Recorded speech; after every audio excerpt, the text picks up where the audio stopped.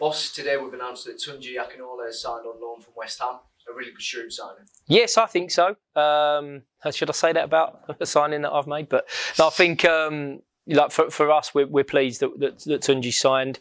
Um, we've looked at him for a while now. Um, discussions with uh, good, good, good people, good friends at, at, West Ham that I've got about uh, potential players to come into us this year. And then once those players are identified by people you trust, you start to do your research and you and you dig in on what they're like in terms of their characters and and obviously you know what what everyone's going to see with, with, with what Tunji does once he's out on the pitch for Leyton Orient. So it's taken it's taken time, but I think it's important that, that we take that uh, Tunji comes here with um, a real wealth of experience in terms of being around the first team at West Ham through through the lockdown period. So we're delighted to have him.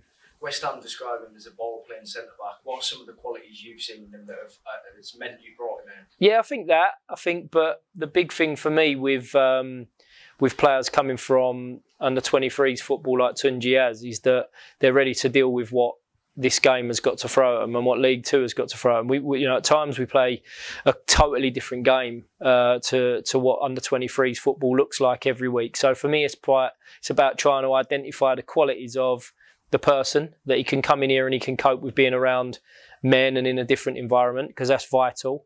Um, and then at the same time, that when the game gets a bit untidy, bit crash bang wallop, bit more aggressive at, at, this level that, that they can step up and they can cope with that. So that's something that we really look into. And it's great that we, you know, we understand that Tunji's comfortable on the ball and, and he'll bring that element of the game to us, but he, he needs to be able to look at the other side of the game as well. So one, does he have those qualities? Yes, we feel we've identified that in him, um, but also at the same time, is he going to continue to develop and get better as a footballer and as a defender? And, and, and that's the big reason of why we've signed him played over 50 times for their under 23s, but, but this is his first loan move. It, it, feels like it'll be really important for his development personally. Yeah, I think um, that's certainly the case. Uh, I think the amount of football that he's been playing is important at whatever level. You know, you, you, you don't want to be taking someone who's got very little experience at, at any level uh, out and, and, throwing him into into this environment. So it's, it's, important that he's been getting those games under his belt, those minutes under his belt.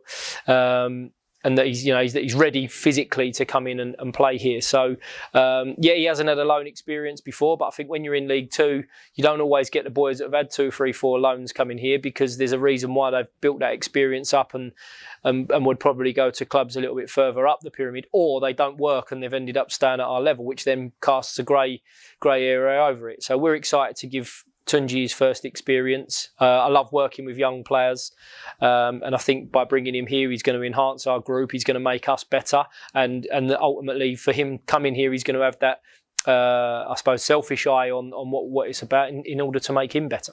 And Tunji will really improve our depth in defence.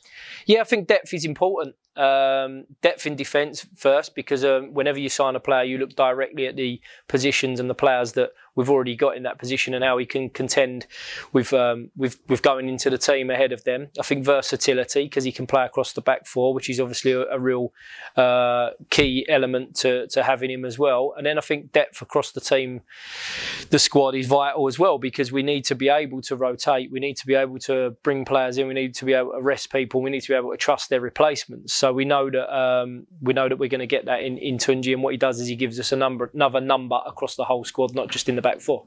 Finally, could we potentially see him at the weekend against Borough? I would, I would like to think so. I think that, I think that the, the, real important thing with with any signing is that he comes in and he knows that he's got to play his way into the group, and he knows that, like I've already said, he's there'll be times when people are in and, and times when people are out. It's going to be very difficult for anybody to play every single game this season. So.